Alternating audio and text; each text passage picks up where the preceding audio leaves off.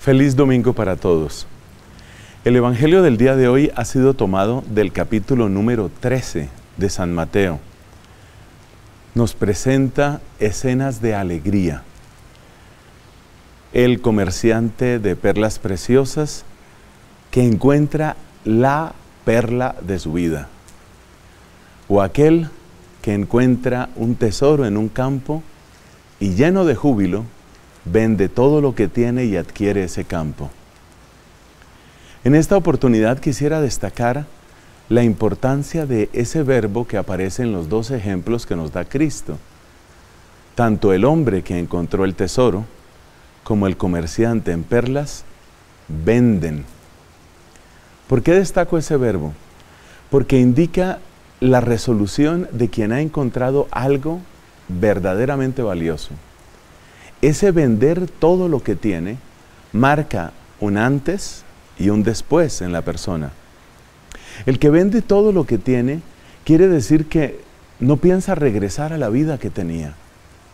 El que vende todo lo que tiene está diciendo, ahora empieza para mí una vida distinta.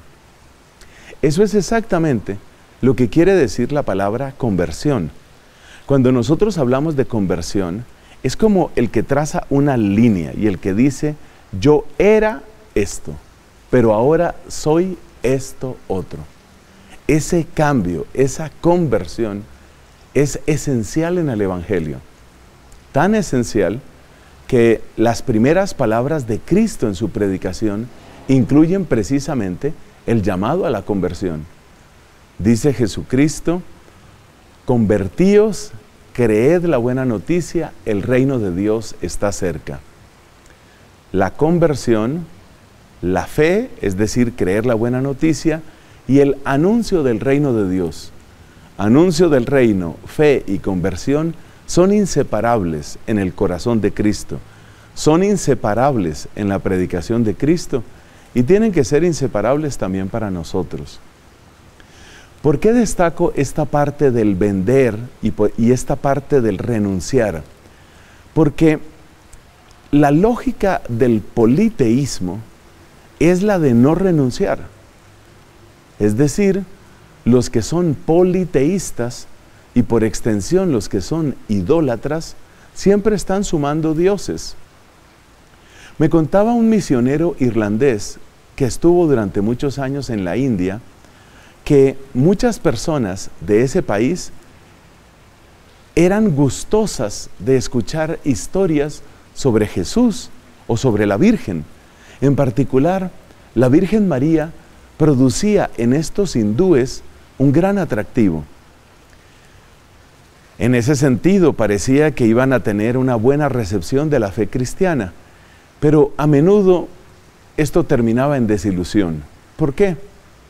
Porque apenas se empezaba a hablar de que Cristo es único, de que Él es el Señor y de que no hay bajo el cielo otro nombre por el cual podamos ser salvos, apenas se anunciaba la unicidad, el señorío de Jesucristo, y por consiguiente, apenas se descartaban los ídolos, ah, ya la gente cambiaba de actitud. Es decir, la gente sí quería aceptar a Jesús y a María, pero como otros dioses más. Hay tanto Dios que uno más, uno menos, no importa. En el momento en el que tú les vayas a decir que realmente Jesucristo es único y que aceptar a Cristo implica dejar los ídolos, ah, ya en ese momento ya no quieren oír más.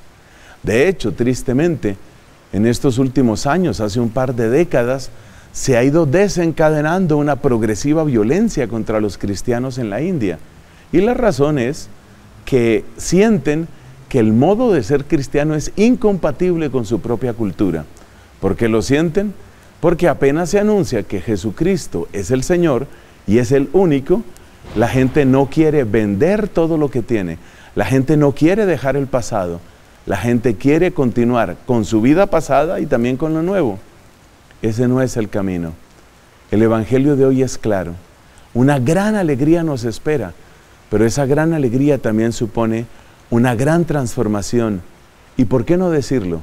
Una gran renuncia.